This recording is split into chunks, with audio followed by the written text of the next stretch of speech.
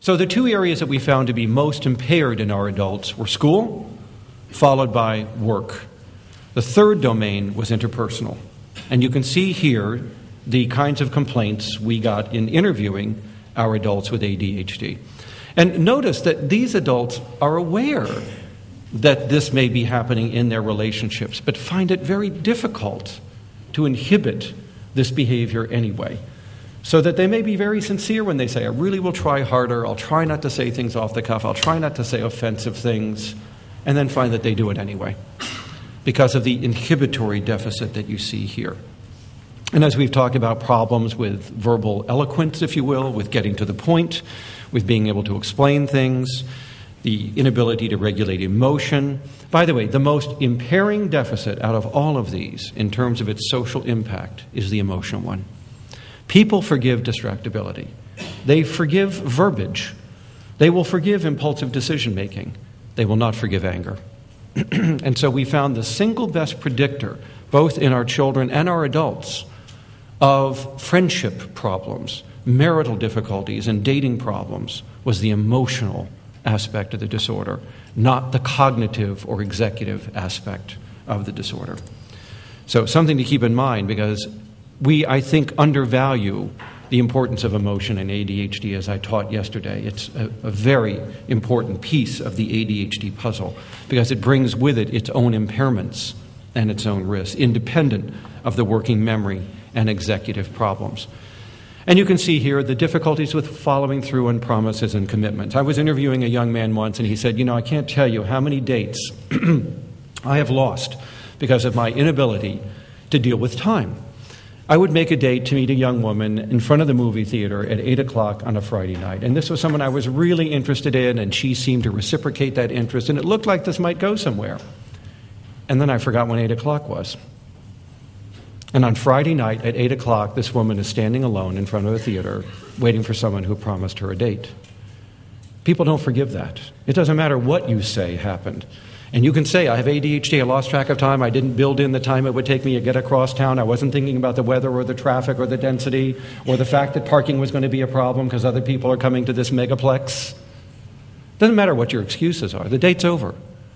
It is very unlikely you would be given a second chance. People interpret this lack of timeliness as a moral failing or as a lack of interest in the other person. And it's very hard for them to forgive that kind of social slight. So you can begin to see the kind of things that are affecting the social quality, the social life of these individuals. I probably don't need to tell you these things. Other things we heard from our adults, as you see here, was the talking too much, too loudly, and not listening to other people's side of the conversation.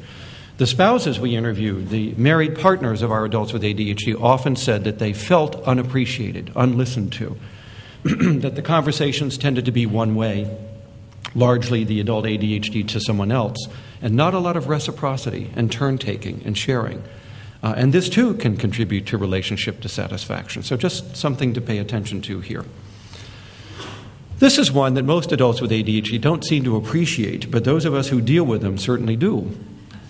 And that is the social stickiness, the inability to take social cues and to terminate the interaction when it's most appropriate. This is that perseverative behavior we talked about. You may find a conversation with somebody very interesting, and you may continue it on and on, but the person is giving you a lot of not so subtle cues that we need to wrap this up and I need to get on with this. But instead, the conversation just continues. And I've had adults follow me out of conference rooms all the way into the parking lot, not realizing I got to get to my plane, you know. It's all very innocent enough, but it can add to the uh, social difficulties of individuals with this disorder. So you can see some of the things that we've already talked about here. Now, one of the things that our group was one of the first to discover, probably because we're all perverts, but we looked at sexual activity in our children growing up, and then again in these clinic referred adults as well. And we found exactly the same pattern. They mapped onto each other beautifully. There is no increase in sexual deviance among people with ADHD, not as teenagers growing up, and certainly not as adults. What there was was this striking pattern of risk taking. seen in having sexual encounters earlier than other people did, about a year earlier, starting their sexual lives, their uh, sexual intercourse. We found that they were far less likely to employ contraception because they tended to have impulsive encounters with other people. Even if they were in a committed relationship, they were five times more likely to have had affairs outside the relationship on impulse than other people were likely to do. if you have more encounters sexually and you don't, don't use contraception, well, the result is babies. And so there was a nine to tenfold increase in having had a teen pregnancy or having initiated one as the father or had one as the mother. 38% of our boys had had a baby before 19 years of age, and 68% of our girls. So we were among the first, and it's now been documented in three other studies, that having ADHD results in starting your family nearly eight years earlier than the general population, sometimes 10. Most people wait until their late 20s to early 30s these days to begin having children. People with ADHD tend to have their children quite young, and their children with ADHD go on to grow up and have their children quite young. So we have shown in our longitudinal studies this is a cross generational effect. Starting to have children when you may not be necessarily ready to have uh, children or to be able to support them in the way that you would like to do so. By the way, teen pregnancies are very costly to society.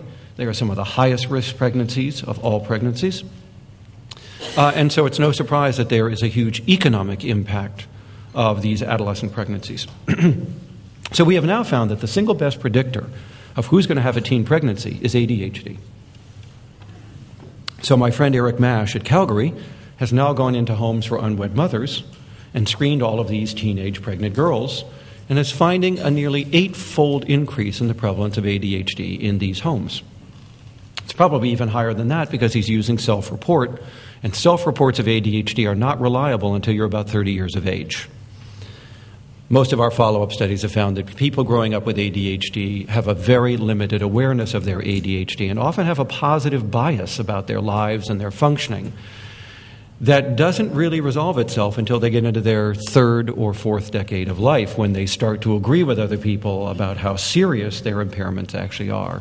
But prior to that time, most of the kids we followed into adulthood in their late teens and 20s did not see themselves as having a disorder or symptoms of a problem. It wasn't until they hit their late 20s to early 30s that they began to wake up and smell the coffee and realize that much of what was happening in their life was the result of this disorder that could no longer be denied.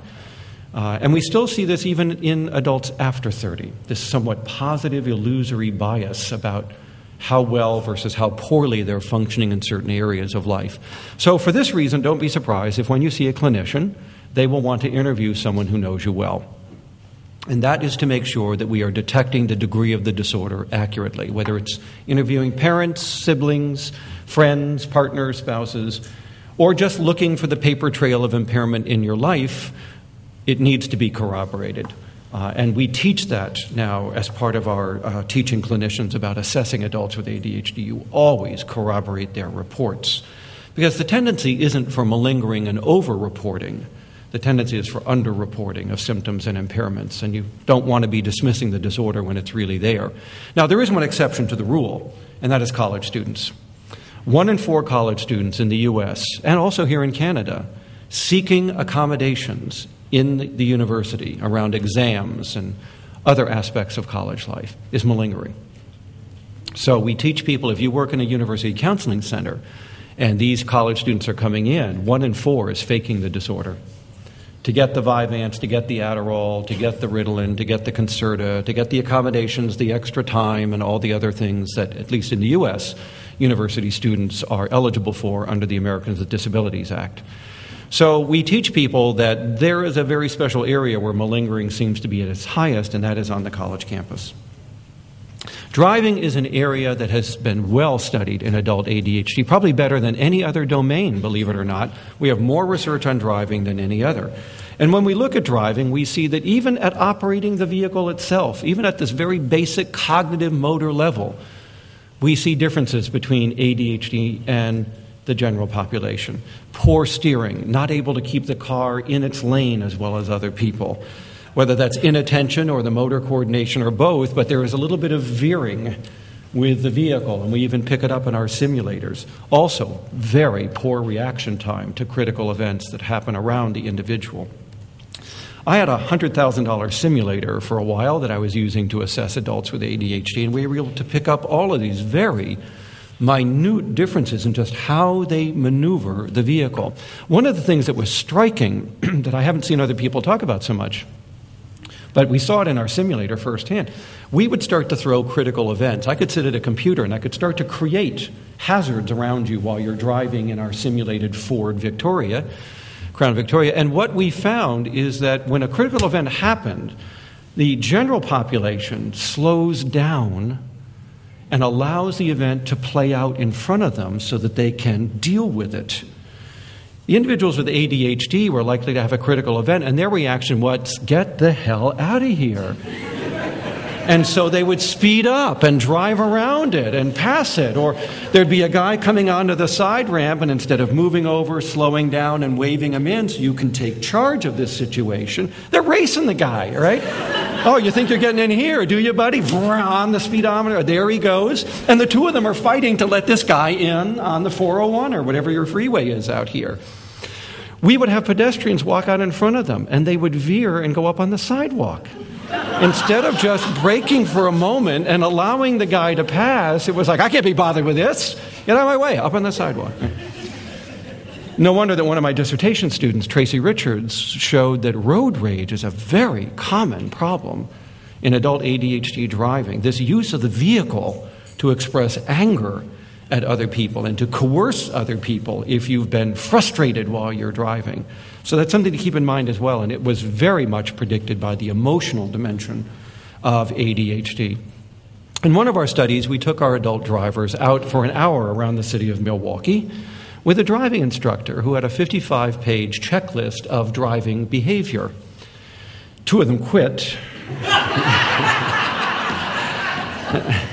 And the rest rated the drivers as being extraordinarily impulsive, and uh, several of them recommended that the people have their licenses revoked. We're not going to do that because it was a research project, but nevertheless, it is palpable, these driving problems. This is not subtle in what we see about the driving uh, in these individuals.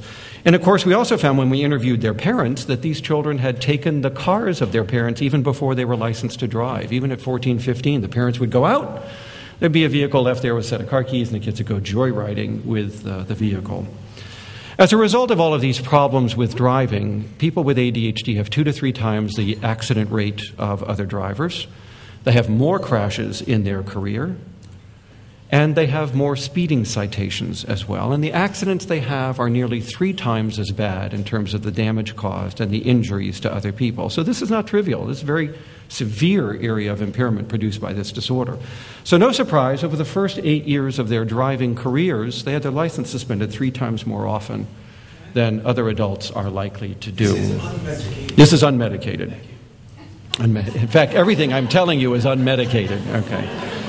yes. Oh, no, no, no. We're going to talk about that. Okay.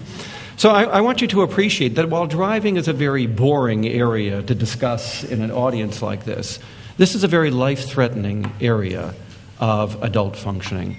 Some of our patients are now doing jail time for vehicular homicide because of their killing other people. A case in January in Atlanta is a young 17 year old girl off her Adderall on the weekend, as some pediatricians are still want to do. By the way, that's out of date practice. We don't do drug holidays anymore.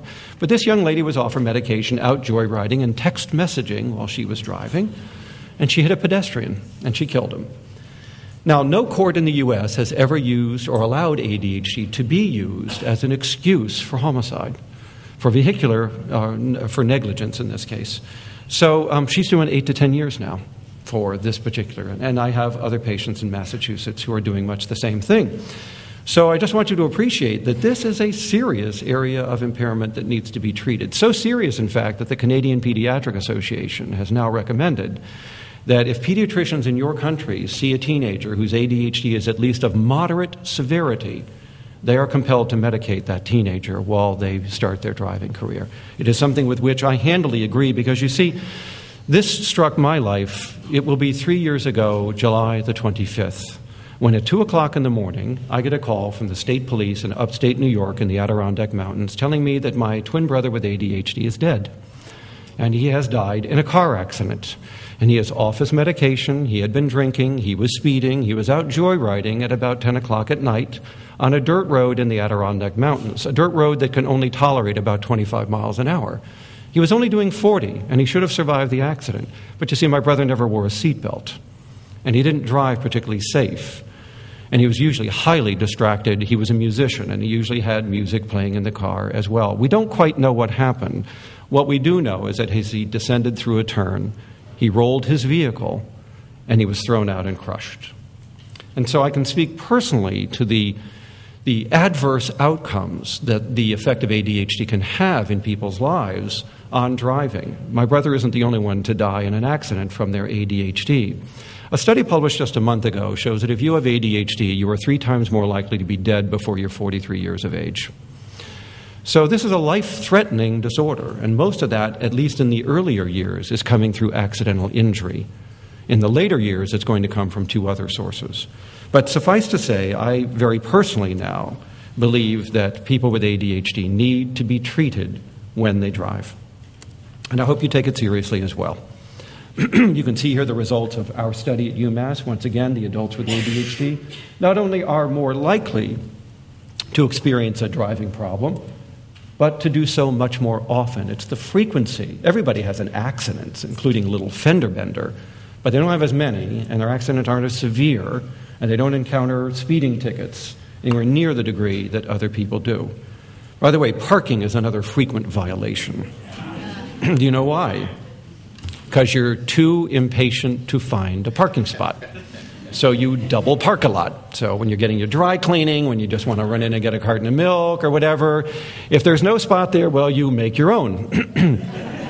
and then you get ticketed for doing so. So that was the second biggest area other than speeding and associated crashes.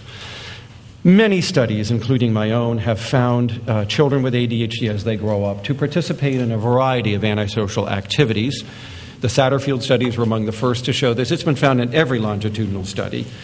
Now, I do want to emphasize that most of this activity is predicted by the onset of conduct disorder in the adolescent years, so that ADHD alone is not as likely to predispose to these activities as ADHD is with conduct disorder.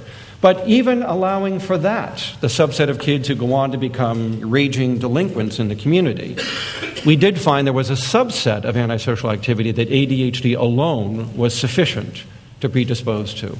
And that was using drugs, possessing drugs, selling drugs, and stealing to get the drugs or the money they needed for their substance use problems. So while you may think of these as largely victimless crimes, which for the most part they are, there is a set of antisocial activities that ADHD alone does predispose people to. But as far as the violent crimes, the muggings, the rapes, the fire setting, the carrying and using weapons, the bar fights, and so on, it's pretty much determined by whether or not you also had developed conduct disorder when you were young. ADHD alone was not a predictor of these sorts of things. And by the way, it wasn't just in their adolescent or adult years, this is going back below age 12. And you can see here the black bar is higher than the other bars in terms of frequency with which these individuals were likely, not frequency, but rather the percentage with which they were likely to have engaged in these encounters.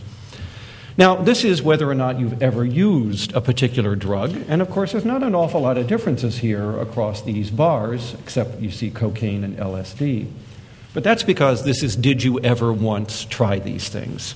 And even the general population tries some of this stuff, so do people with other psychiatric disorders. It's the frequency that separates the adult with ADHD. So let me tell you the three drugs of choice that we found were problematic for most of the adults we saw. Nicotine was number one.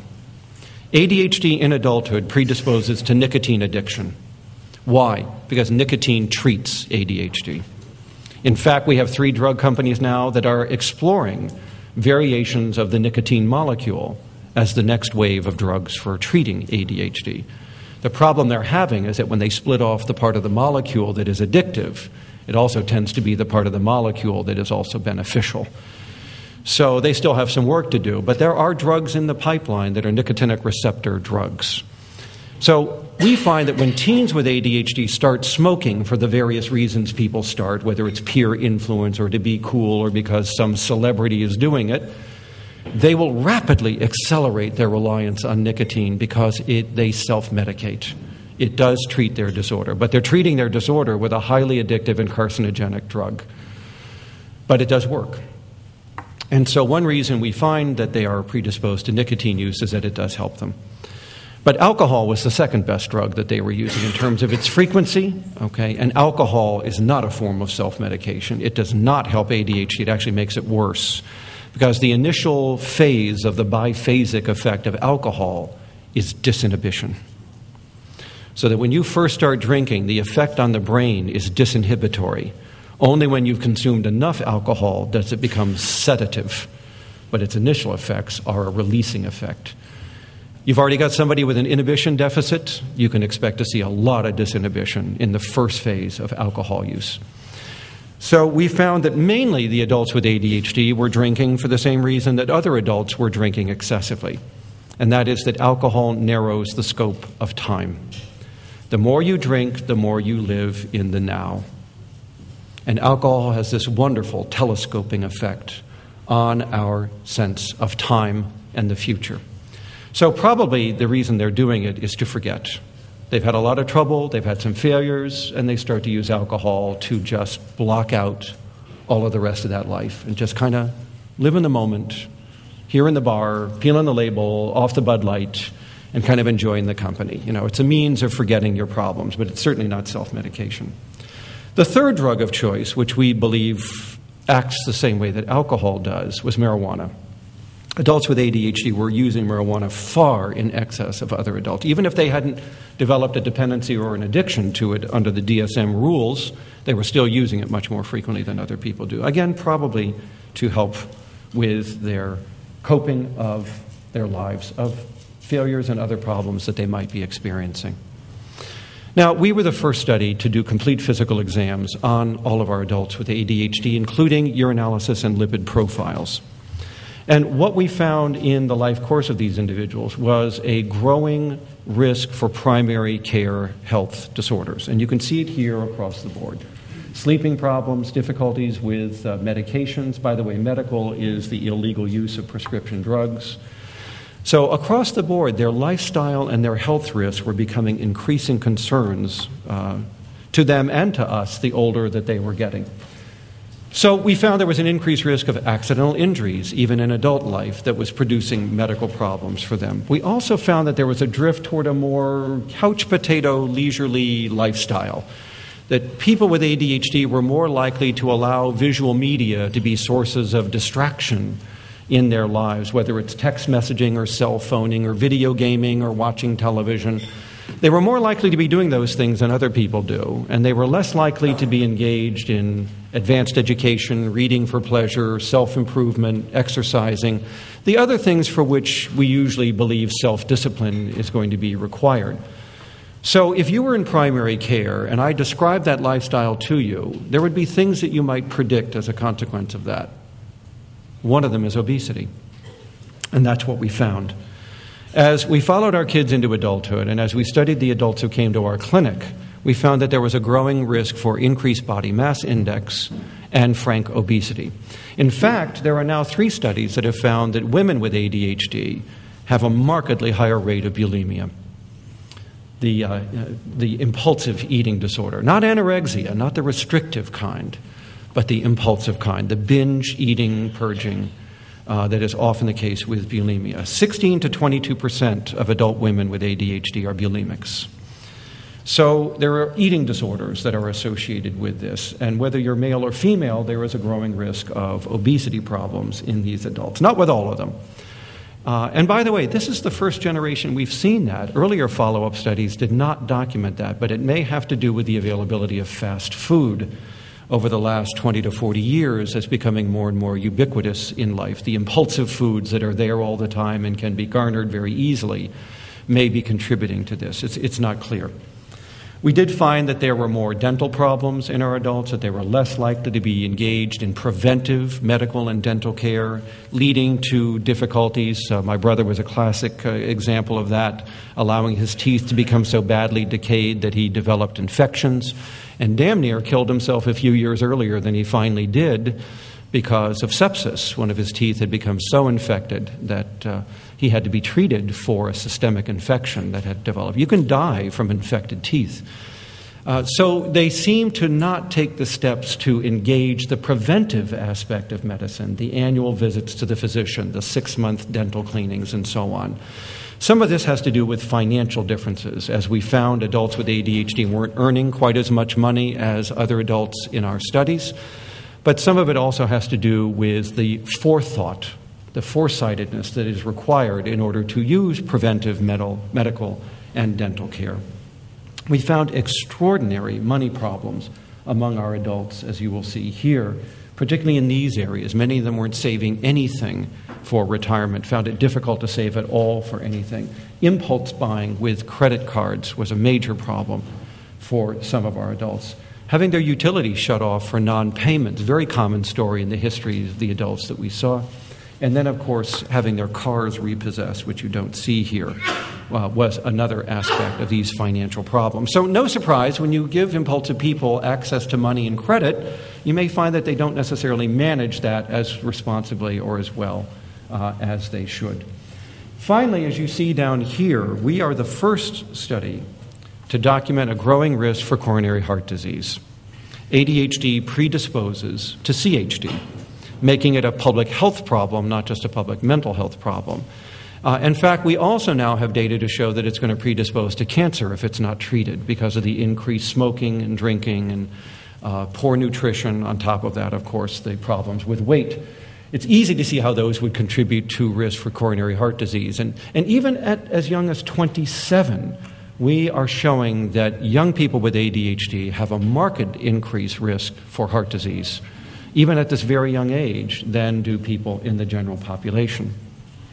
So, we have now written in our book that ADHD, if it is left untreated, will probably shorten an individual's life expectancy. We have several studies that attest to that. Uh, let me explain one to you. There's a life course study that was done in California that followed thousands of individuals from birth to death and documented the death by all causes and found that the single best predictor from childhood onward that beat out all other predictors of life expectancy was childhood impulsiveness. The more impulsive you are as a child, the shorter your life is going to be. Now, they classified impulsive people as falling in the bottom 25% of their population. And they found that it had shortened the life of these individuals by eight years. That's the lowest 25%. ADHD is the most severe, 5%. So it doesn't take a genius to see that if being in the lowest quartile shortens your life by eight years, being in the lowest 5% is probably shortening it even more. So we are now arguing that adult ADHD, if left untreated, is a public health issue, not just a mental health issue. We studied the offspring of our adults with ADHD because it's a genetic disorder for the most part, as I explained this morning. And we found what everybody else has found, including the Montreal Children's Hospital study of adult ADHD and all other studies of families with ADHD.